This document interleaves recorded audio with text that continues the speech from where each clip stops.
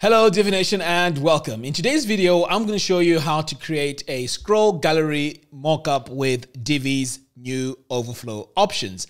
This is the final result we're aiming to achieve. So without wasting a lot of time, let's dive in and let's get started. All right, so the first thing we're going to do is to create a brand new page. So I'm going to come over here to pages, click on add new, and then I'm going to give this page a name. So I'm just going to call this create a scroll gallery mockup.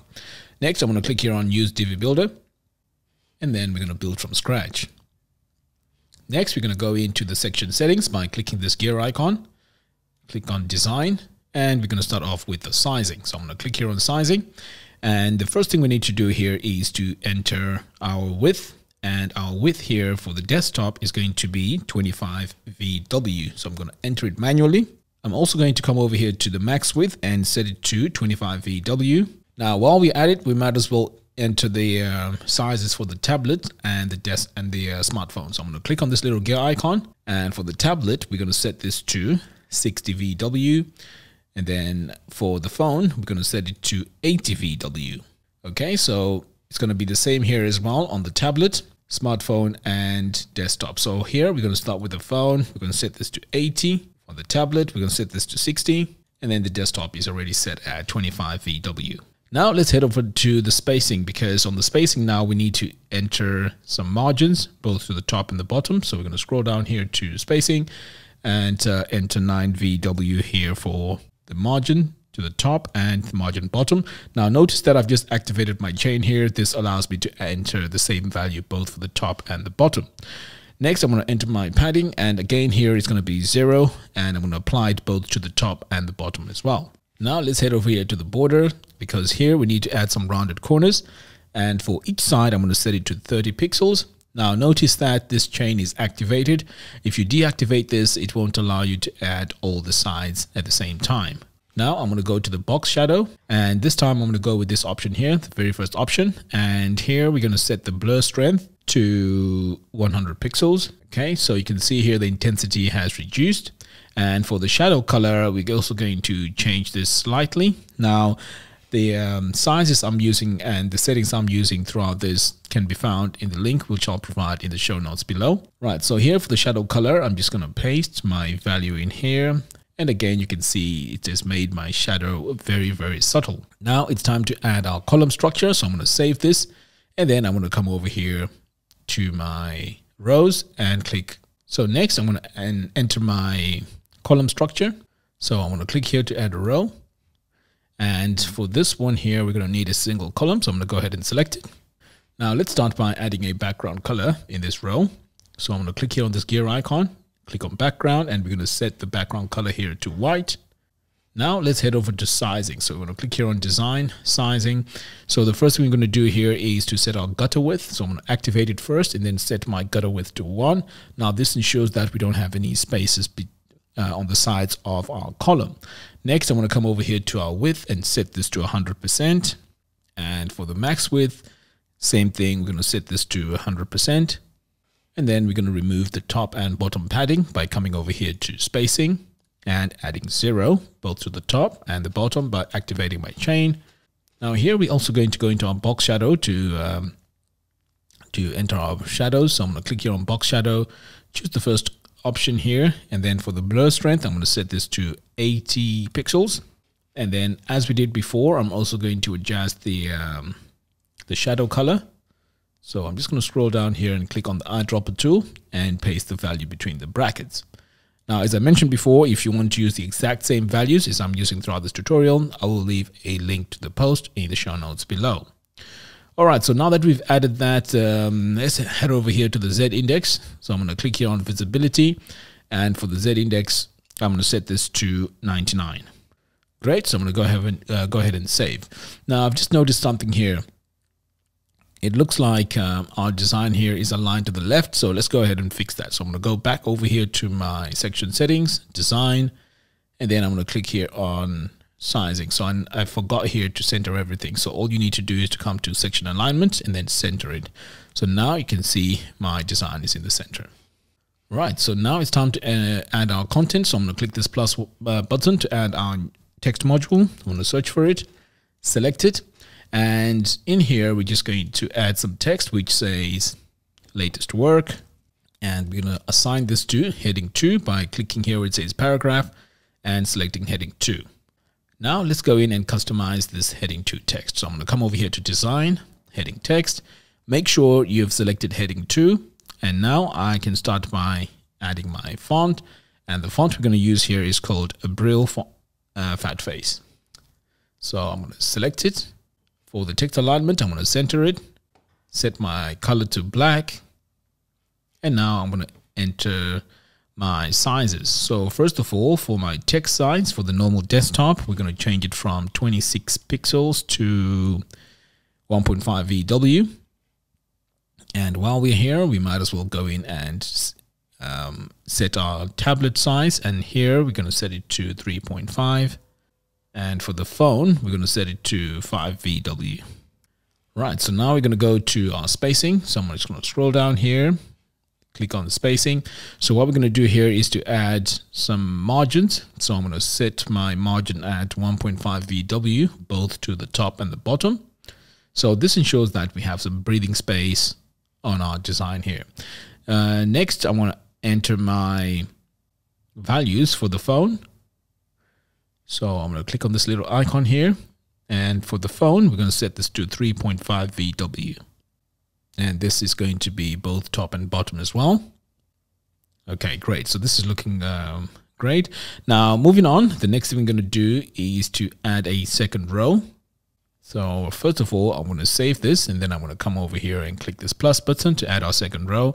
And uh, here we're going to set this to one column. Now, as we did before, let's go into our row settings and set our gutter width and our maximum width as well. So I'm going to click here on row settings and then come over here to design sizing. We're going to set our gutter width. So I'm going to activate it first and then we're going to set our gutter width to one. For our max width, we're going to set this to 100%. And this is also going to be the same for the max width. Right, so let's move over now to the height. So here, for the height, we're going to set this to, as you can see, currently it's set to auto. We're going to set this to 38 VW. And for the max height, we're also going to set this to 38 VW. So while we're at it, we might as well go in and enter the sizes for our tablets. So I'm going to come over here to the second tab, set this to 100 VW. And for the phone, it's going to be 120 VW. So we're also going to do the same here for the max height. So the phone it's going to be 120, just like what we have here on the top. And then for the tablet, we're going to set this to 100 VW and the desktop should be fine at 38. Now let's head over to the spacing because we need to add a top and bottom padding. So I'm going to click here on spacing. And for our top and bottom padding, we're going to set this to zero pixels, making sure that we don't have any space on the top and the bottom. Now I'm going to come over here to the advanced and set my vertical overflow. So I'm going to click here on visibility. And for uh, vertical overflow, I'm going to set this to scroll. So once we have content in here and it exceeds the height, you'll see a scroll bar that appears and this is the vertical overflow. But if you're not sure what this is, you can just come over here and click on this right on this question mark and this explains what it is. All right, so now that we're done with this, let's go ahead and save. And now it's time to add an image to this column. So I'm going to click here on this plus button, search for my image module. I'm going to select it and then click anywhere here. And now I'm going to look for my image and I already have my image in here. So I'm going to go ahead and select it.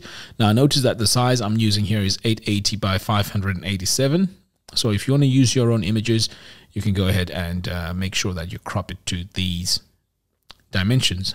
Next, I'm going to click upload an image. Now I'm going to come over here to design, sizing, and here I'm going to force full width, just making sure I don't leave any gaps. And for the margin bottom here, uh, let's go to spacing first. Yeah, so for the margin bottom, I'm going to set this to 1 VW. So pretty much that's all we need to do here. I'm going to go ahead now and save. Now for the next stage, now we need to populate this here with um, as many images as you want. So the easiest and quickest way to do this is coming over here to expand settings. And here is my image. I'm just going to duplicate this a few times. Okay, and then I'm going to switch back over here to my desktop view. So you can see here my images are now showing. All right, so what we need to do now is to just replace these images, make sure that they're all not the same. So I'm going to click here on this gear icon And then I'm going to change that image to this one here, for example. Upload an image, save that. I'll come over here and change this image as well. Go with this one here, upload an image. So as you can see, I'm just um, adding different images here just to uh, make my gallery here a bit different. So I'm going to click here again on module settings and change my image. All right, so pretty much that's all the images I'm going to add in here. I'm going to click on save changes.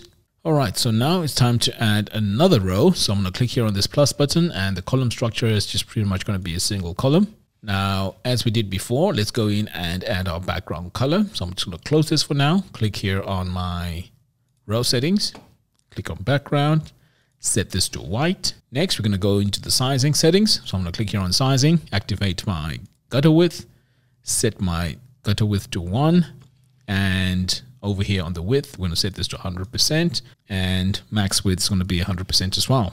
Next, I'm to go to my spacing to add my top and bottom padding. So I'm going to click here on spacing. Right, so my top and bottom padding is going to be 2.1 VW. I'm going to go to the box shadow, choose the first option. My blur strength, I'm going to set this to 80 pixels. And then for my shadow, as we did before, I'm going to click here on this eyedropper tool and paste my values between the brackets just like that. Click advanced, visibility. I'm also going to set my Z index at 99 and then save. Okay, so our settings are now complete. The next stage now is to add a button onto the column that we've just um, created. So I'm going to click on this plus button, set, uh, click on button. So here my button text is going to be view all. Click on design, alignment. I'm going to center it. Now I'm going to customize my button settings. Now, in order for us to do that, we need to come over here to button and activate custom styles for button. So let's start here with the button text size. So we're going to set this to 1VW. And for the button text color, we're going to set this to white. Now let's set our button background color and this needs to be black. And now you can see my button is now visible. Now we also need to change the font for this button here to match our design. So I'm going to scroll down here. So our font is going to be a Abril Fatface. And for the button border width, it's going to be one pixel. Okay, so let's add some spacing and padding to our button. So I'm going to scroll down here, select spacing, so I'm going to start here with my padding. So here it's going to be 0.5 to the top and bottom and left and right padding is going to be 3VW. So I'm going to enter it here, activate my chain. So now you can see my button is slightly bigger.